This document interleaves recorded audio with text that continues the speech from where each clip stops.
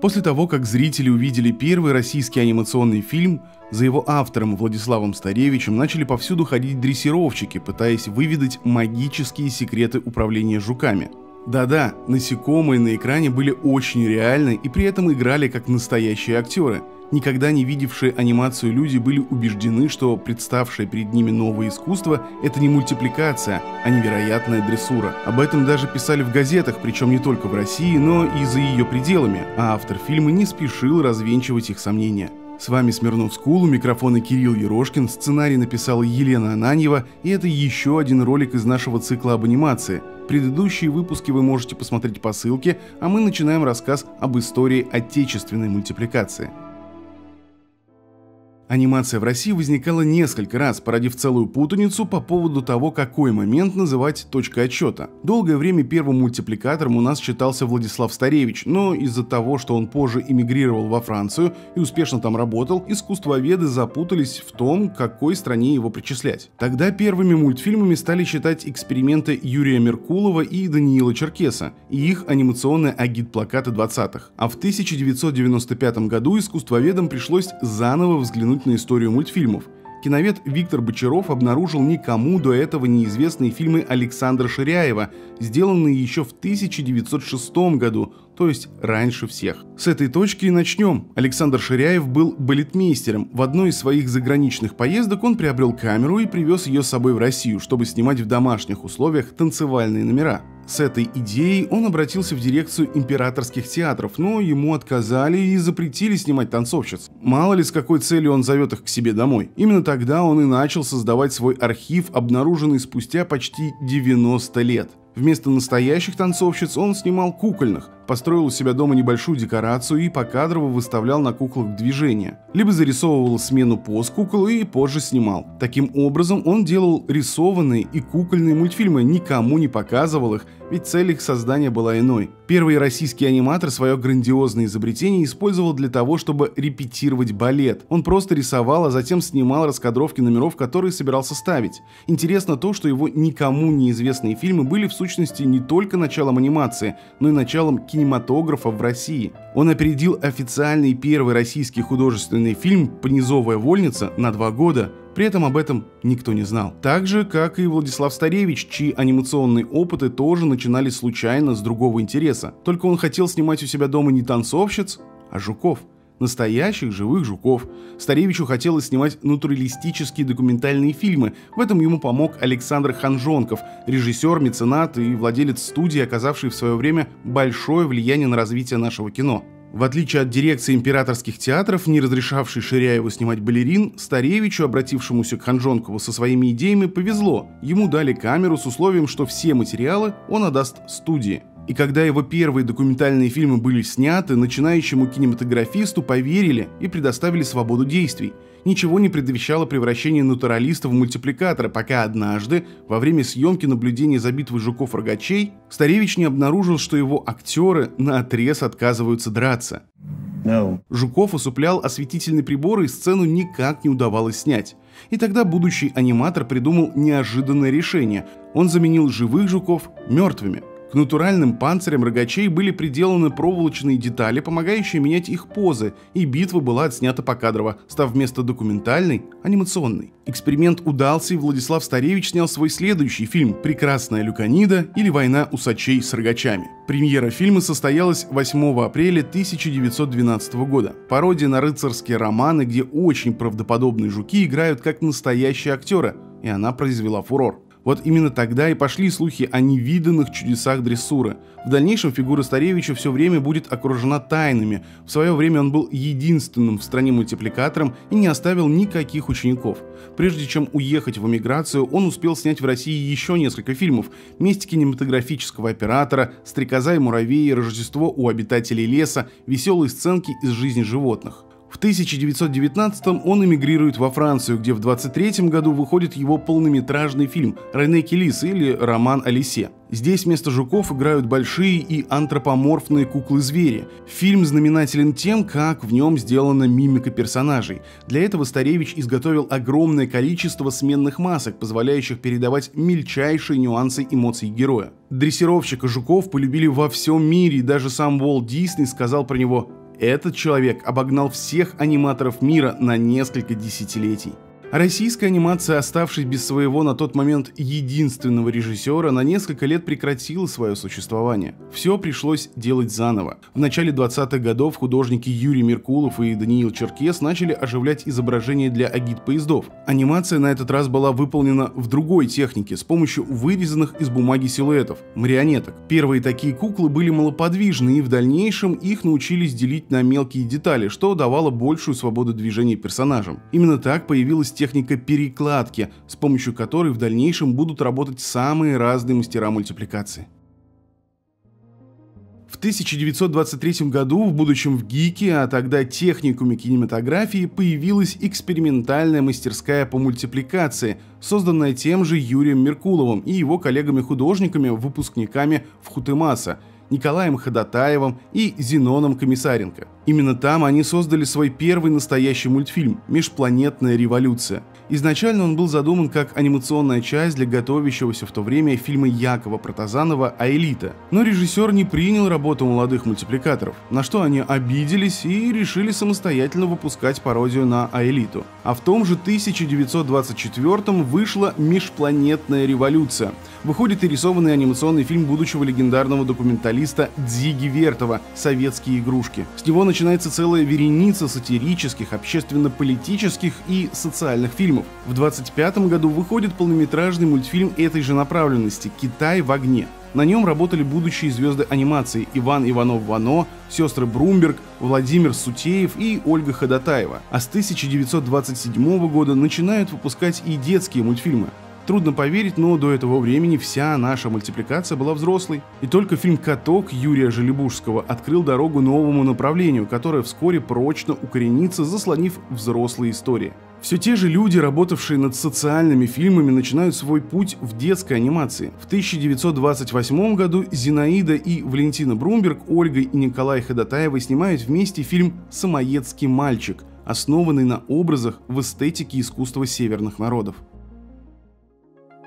30-е годы стали временем перемен, экспериментов и открытий. В 1933 году в кинотеатре «Ударник» проходил фестиваль кино, на котором были показаны картины Уолта Диснея про Микки Мауса и фильмы из цикла «Забавные симфонии». Советские мультипликаторы были поражены. Это было невиданное ранее качество анимации, проработки, движения, характерности и пластики. Им, привыкшим к агиткам и шаржам в анимации, стало понятно отставание своей страны и захотелось перенять опыт зарубежных коллег. Говорят, что даже Сталину понравились американские персонажи, и он призвал аниматоров создавать своего советского Микки Мауса, национального мультипликационного героя, который мог бы переходить из фильма в фильм. Перед анимационными студиями открылись возможности в обучении. Виктору Смирнову, на тот момент возглавлявшему кинофабрику «Союз кино», это будущий Мосфильм, было поручено важное задание – отправиться в США, учиться на студии Диснея и перенять опыт, чтобы привести его назад в свою страну. Смирнов становится президентом Нью-Йоркской корпорации Амкино и помогает СССР и США обмениваться фильмами, а еще и сам изучает анимацию у Диснея. В 1934 он возвращается и привозит в советскую страну новую мультипликационную технологию – целлулоид. До этого все мультфильмы были рисованными, бумажными или кукольными. Теперь аниматоры учатся работать как Дисней. Смирнов организовывает свою студию, обучает людей и сам создает фильмы в самых разных жанрах, в основном подражающие производителю Микки, Дональда и Гуфи. В это же время происходят и другие эксперименты. В 1935-м Александр Патушко снимает «Нового Гулливера», фильм, где совмещалось игровое кино и анимация. Вместе с актером играло огромное количество кукол, изображавших лилипутов. Фильм имел грандиозный успех во всем мире. В том же году наш соотечественник Александр Алексеев, эмигрировавший, как и Старевич во Францию, патентует новую анимационную технологию – игольчатый экран. В 1933 году он выпустил фильм «Ночь на Лысой горе», сделанный с помощью своего изобретения. Игольчатый экран — это такая белая плоскость, в которую вставлено множество одинаковых крохотных игл, двигающихся сквозь нее. С помощью специальных кистей и инструментов художник выдвигает нужные иглы в ту или иную сторону, и это дает глубину и объем изображению и позволяет играть со светотенью. В те же 30-е на территории СССР изобретают еще одну уникальную технологию — бумажный звук. Из бумаги вырезался силуэт графического графического изображения звуковой дорожки и накладывался в мультипликационном станке на специальную дорожку на пленке рядом с изображением. Все это фотографировалось и воспроизводилось, то есть э, теперь кинопроектор считывал нарисованный звук, который на самом деле никто не играл. Это было что-то вроде будущего синтезатора. Одним из немногих художников, работавших с бумажным оркестром, был Николай Воинов. Одной из самых интересных его работ стал фильм «Танец вороны», где пластика движения персонажа сочетается с пластикой нарисованного звука.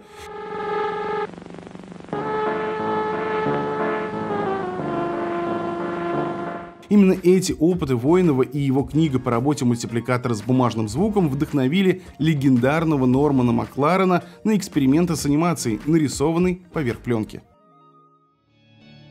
Следующим знаковым событием в истории отечественной мультипликации становится появление студии «Союз Дед Мультфильм». В 1936 году все анимационные студии объединяют в одну. Направление выбирают детское. Впрочем, слог «дед» уже через год выпал из названия, но взрослые фильмы на студии появились гораздо позже. Первым мультиком студии становится картина Дмитрия Бабиченко и Александра Белякова «В Африке жарко». А в следующем году на студии начинают выходить первые цветные мультфильмы, например, «Сладкий пирог», также Бабиченко и Белякова, или «Лиса и волк» Сары Мокель. Еще через год Союз мультфильм начинает использовать технику, которую в то время активно начинал внедрять в свои фильмы Дисней – ротоскоп – или эклер, когда сначала на пленку снимают настоящих актеров, а потом обводят получившиеся изображения. Ротоскоп придумал еще в 1914 году Макс Флейшер, автор знаменитой Бетти Бу. Но особенно широко его начинают применять уже в конце 30-х на студии Уолта Диснея. Так сделаны Золушка, Алиса в стране чудес и другие. А на союз мультфильмы метод назвали словом эклер не в честь пирожного, а в честь названия аппарата для ротоскопирования и только-только начали изучать и применять. Самые главные шедевры, выполненные здесь здесь в этой технике выйдут в 50-е годы, но о них чуть попозже.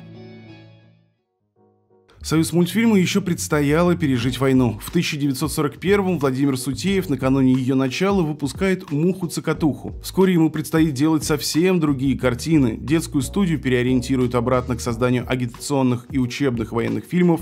Часть студии эвакуируют в Самарканд, в чем им помогает Виктор Смирнов, которого в 1936 году отстранили от руководства из-за разногласий с коллективом, а теперь вернули. В Узбекистане к штату студии присоединяются некоторые режиссеры с Ленфильма. Картин выпускается намного меньше, часть работников студии уходит на фронт. И при этом детские фильмы выходят все равно, несмотря ни на что. «Краденое солнце», «Лиса, заяц и петух», Сказка о царе Салтане, Синдбад-мореход, Телефон, Елка и многие-многие другие. Зато после войны начинается настоящий расцвет анимации в СССР. Союз мультфильм начинает искать свой язык, уже не диснеевский. Теперь своеобразным будет все, даже помещение студии. Мультипликаторы расположились в здании бывшей церкви Николая Чудотворца, чьи высокие потолки идеально подходили для профессионального оборудования и станков.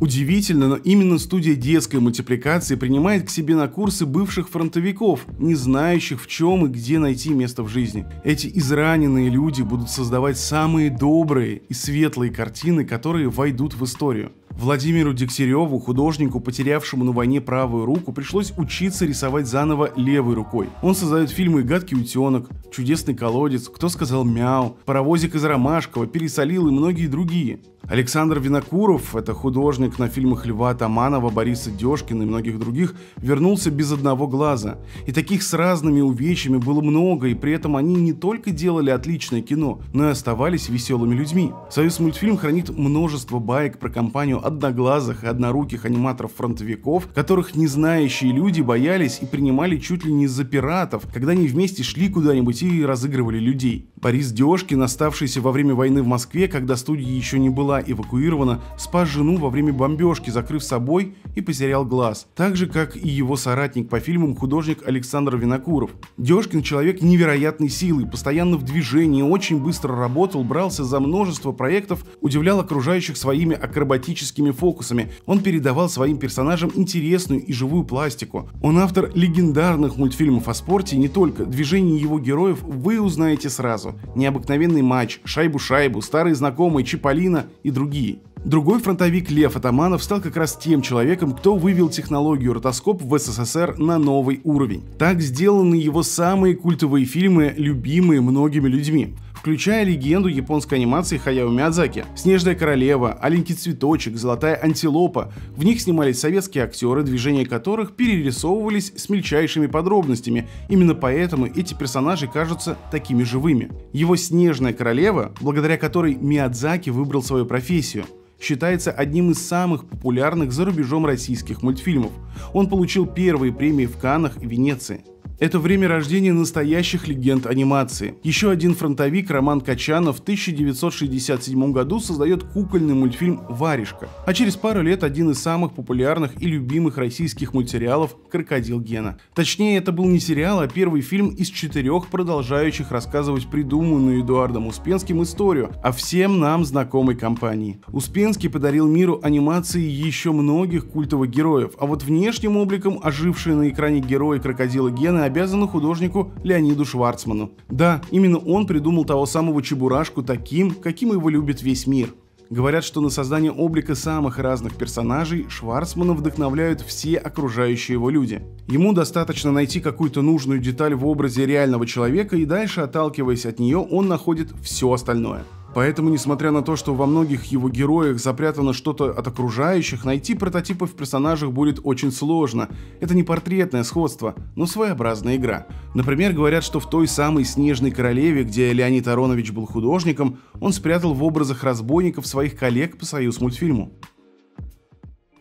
Гена и Чебурашка, конечно, не единственные культовые герои того времени. В конце 60-х на экраны страны начинают выходить многосерийные фильмы, которые вскоре надолго станут всенародно любимыми. Мечта о том, чтобы найти своего советского Микки Мауса, героя, переходящего из фильма в фильм, начинает сбываться именно сейчас. В 1968 выходит первая из двух частей о малыше и Карлсоне Бориса Степанцева. А в 69-м одновременно с Чебурашкой выходит первый мультфильм из цикла о Винни-Пухе, снятый Федором Хитруком, и пилот будущего сериала «Ну погоди» Геннадия Сокольского. Причем первая серия «Приключений Волка и Зайца» была на тот момент частью, опять же, первого альманаха «Веселая карусель». Еще одна многосерийная история, просуществовавшая много лет и возрожденная в нынешние времена. Художественным руководителем того выпуска был Роман Качанов.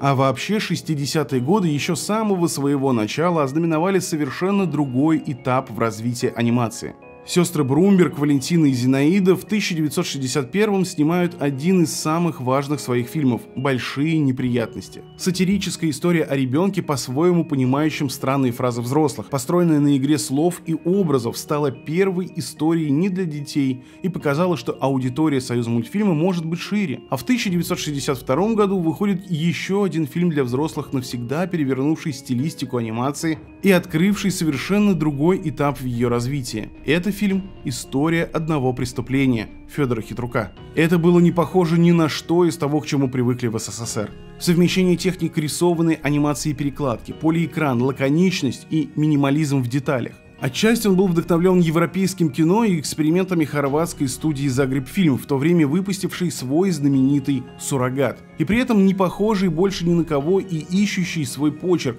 фильм Хитрука дал совсем новое направление развитию советской анимации.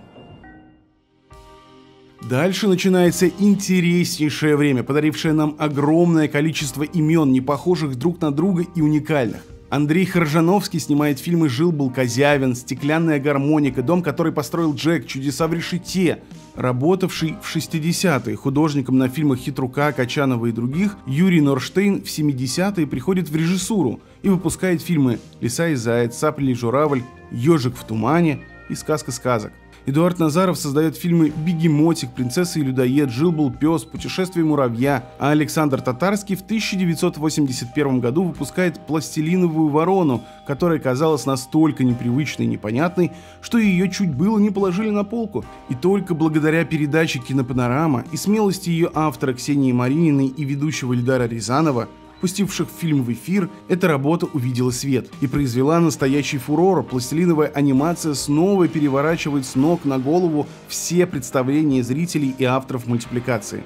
А Татарский в 1983 году выпускает свой следующий фильм «Падал прошлогодний снег». Мультипликация экспериментирует с разнообразными новшествами и необычными материалами. В 1988 году фильм Гарри Бардина «Выкрутасы», сделанный из проволоки, получает золотую пальмовую ветвь Каннах. А Александр Татарский в том же году основал свою собственную первую независимую студию «Пилот». Как раз тогда для Союза мультфильма и анимации в целом начинаются непростые времена. Хаос, пришедший в страну в 90-е, расшатывает и анимацию. Фильмов выпускается мало, на Союз мультфильме происходит смена руководств, сотрудники массово уходят со студии. Мультипликаторы, по сути, становятся сами за себя и ищут возможность жить и заниматься творчеством как могут. Они снимают рекламу и клипы, делают фильмы самостоятельно. Студия «Пилот» живет своей жизнью. Александр Татарский и Игорь Ковалев выпускают здесь экранизацию истории Эдуарда Успенского, свою знаменитую серию о братьях-сыщиках, появившихся еще в 1986 году в фильме «Следствие ведут колобки»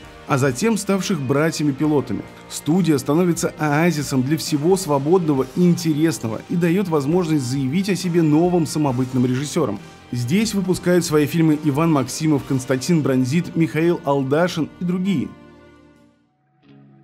Еще одним оазисом становится школа-студия «Шар», которую при поддержке Госкино на базе высших курсов сценаристов и режиссеров в 1993 году открывают Федор Хитрук, Эдуард Назаров, Юрий Норштейн и Андрей Харжановский. Школа одновременно обучает и выпускает новое поколение молодых мультипликаторов, и как студия тоже дает возможность режиссерам снимать кино. Здесь снимают свои фильмы Алексей Демин, Александр Петров, Валентин Ольшванг и многие другие. В 2004-м Александр Татарский придумывает грандиозный проект, который становится своего рода глотком кислорода для российской мультипликации. Это альманах сказок народов России «Гора самоцветов». Татарский приглашает к нему самых разных мультипликаторов, и в один только первый сборник входит 11 фильмов, затем он начинает выходить каждый год. Альманах становится настоящей кузницей талантов, в нем виден индивидуальный почерк самых разных режиссеров, объединенных сказками. Своеобразную эстафетную палочку у него перенимает проект Елизаветы Скворцовой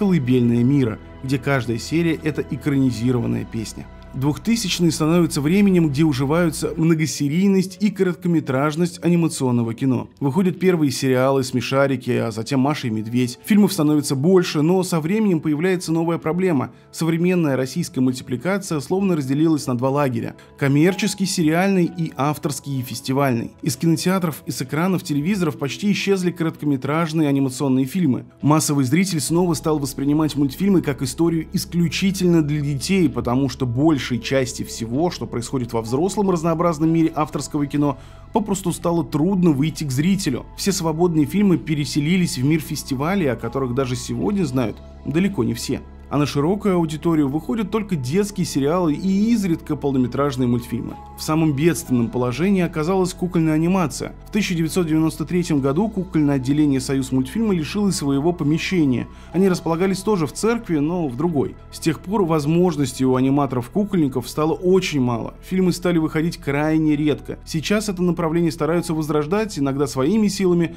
На некоторые проекты деньги собирают с помощью краудфандинга. За последние годы, наконец, появилась надежда. Деньги на проекты, пусть и небольшие, но все-таки выделяются. Фестивали и студии помогают жить интересным короткометражным мультфильмам, и о них начинают все больше узнавать зрители. И в то же время растет количество студий, производящих сериалы, а значит проектов будет становиться все больше и будет больше шансов выстрелить необычным идеям. Пока еще интересные сериалы появляются не всегда, современная анимация просто связана по рукам и ногам, свобода мультипликаторов сталкивается со страхом коммерческого провала студий, которые в большинстве своем окупают сами себя и часто боятся рисковать и браться за оригинальные идеи, а телеканалы опасаются того, не захотят ли повторить увиденное дети, из-за чего часто все стараются пригладить и усреднить. Об этом недавно говорилось на Суздальском фестивале, где прошел круглый стол, на котором обсуждались проблемы современной анимации. Мультипликация – одна из сфер искусства, требующих наибольшего количества времени и возможности долго и кропотливо делать свой труд. Современная анимация пока еще с трудом привыкает к бешеным темпам новой жизни. Никогда еще фильмы и сериалы не приходилось снимать так быстро – но нас окружают талантливые режиссеры и художники, об этом явно свидетельствуют современные фестивали, о которых сейчас все больше узнают зрители. Российские мультфильмы имеют успех на зарубежных фестивалях, сериалы переводят на другие языки и показывают во всем мире, а студии набирают обороты. На том же Суздальском фестивале в последнее время в номинации «Анимационный сериал» появляется все больше и больше ярких проектов. Так что, возможно, нас ждет много всего интересного впереди. А на этом у нас на сегодня все. Смотрите крутую анимацию, ищите и открывайте для себя новые имена. Подписывайтесь на наш канал, ставьте лайк этому видео, не скучайте. Всем пока.